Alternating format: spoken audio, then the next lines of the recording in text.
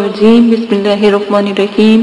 मेरे प्यारे सब्सक्राइबर मेरी प्यारी बहनों और भाइयों, मुझे बहुत ज़्यादा खुशी हुई, बहुत ज़्यादा मुझे कमेंट्स और आप लोगों की दुआएँ मिली कि मैंने जो आप लोगों से शादी के लिए या बच्चों के पढ़ाई के लिए और और छोटी मोटी हाजात के लिए जो वज़ाइफ आपके साथ पेश किए थे, आपने बहुत ज़्यादा पसंद किया।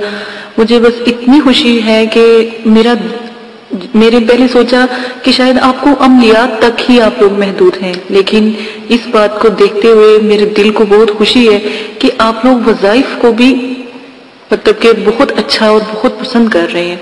तो इसी के साथ आज फिर मैं अपना एक नया वज़ाइफ आपके साथ शेयर करूँगी कि आप लोग जब भी जब भी किसी बेटे या बेटी की शादी करो, या कोई बहन भाई की शादी हो, या आप में से किसी की शादी हो तो शादी होने के बाद इसको जो मैं अमल आपको बताऊँगी, आपने पढ़ना है, ताकि जो मियाँ बीवी हैं, उनके दरमियान में एक मोहब्बत और उल्फत पैदा हो। मोहब्बत और उल्फत पैदा हो।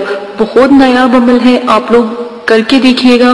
और अगर आपने अभी तक ये दुआ नहीं पढ़ी, या आपको कहीं से नहीं पता लगा, ठीक है? तो आपने ये दुआ जो है, फ़ौरन पढ़नी है।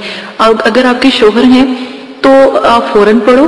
और अगर आपकी, अपनी बीवी के लिए पढ़ना चाहते हैं तो फ़ौरन पढ़ लें।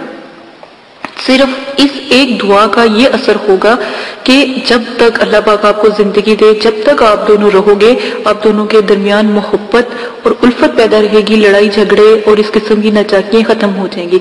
अगर कोई मेरा बहन भाई परेशान है और काफ़ी अरसे से आपस में तकरार है या किसी बात से नाराज़गी है, ठीक है?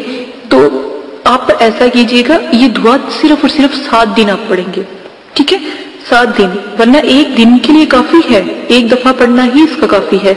लेकिन फिर भी आप ये बेहतरी के लिए कहती हूँ कि अगर ऐसा मसला है तो वो आप जो है सात दिन तक इसको पढ़ेंगे। तो इनशाला जितनी भी परेशानियाँ आपस में रिश्ते में होती हैं, क्योंकि अल्लाह पाक के नज़दीक सबसे जो तकलीफ़ दे अमल है या तकलीफ़ दे काम है, मर्द और जैसे मियाँ बीवी होते हैं, उनमें लड़ाई, झगड़ा और सबसे बुरा काम जो है, तलाक का होता है कि ये पूरी दो एक मियाँ बीवी नहीं, या एक लड़की, एक लड़के की ज़िंदगी खराब नहीं होती, पूरे खानदान के ऊपर इसका जो है असर पड़ता है। और अगर औलाद है तो बहुत बुरा और बहुत गहरा असर पड़ता है। सारी ज़िंदगी जो है औलाद फिर उस तरीके से नहीं चल सकती, ठीक है?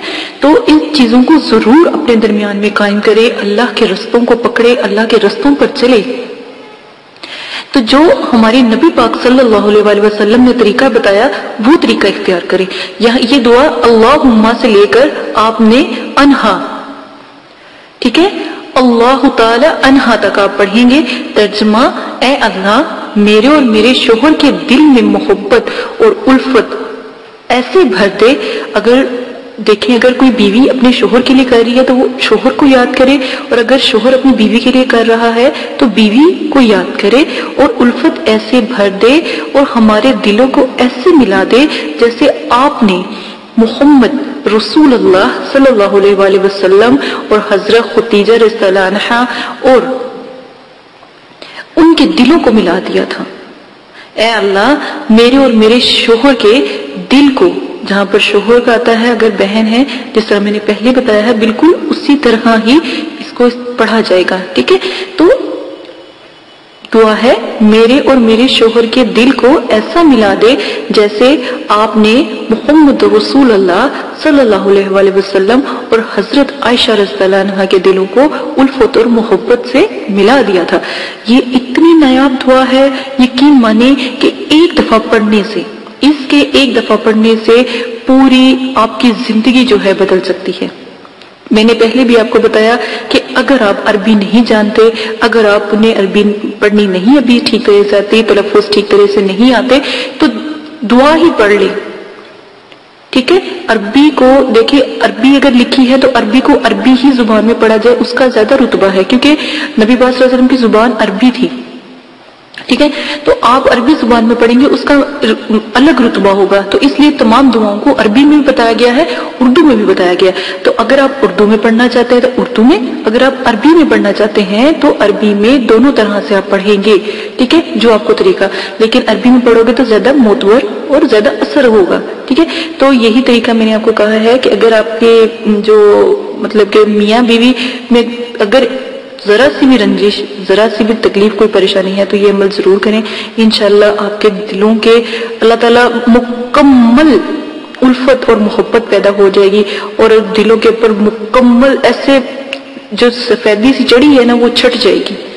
और रोशनी आ जाएगी। इसी के साथ इजाज़त चाहती हूँ, अपना बहुत ज़्यादा ख्याल रखिएगा दुआ में याद रखिएगा। अल्लाह पाक आपको करने की तोफीक अता फरमाए, अल्लाह पाक आपको हिम्मत दे। मेरी तो बस यही दुआ है कि अल्लाह पाक आपकी, मेरी जितनी भी मदद हो, मैं आपकी ज़रूर मदद करूँ। अल्लाह पाक आपको करने की तोफीक अता फरमाए, इजाज़त दे, अपना ख्याल रखिएगा। अल्लाह हाफिज।